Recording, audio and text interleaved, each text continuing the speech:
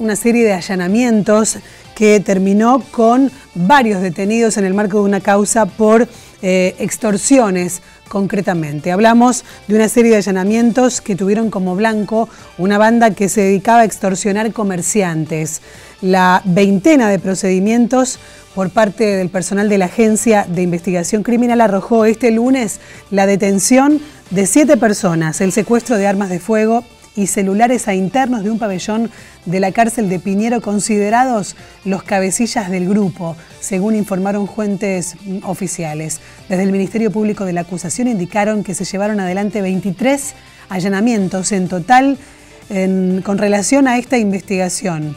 Son locales comerciales, locales en general, negocios de barrio. Es una causa de varios presos de un pabellón de Piñero extorsionaron a unos 20 comerciantes en diciembre y en febrero.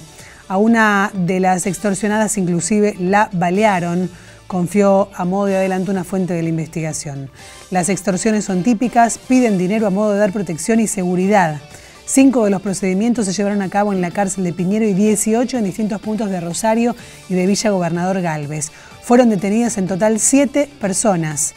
Los agentes de la agencia, encabezados por el personal de la nueva brigada de balacera, secuestraron tres armas de fuego, dinero, dólares entre ellos y teléfonos celulares.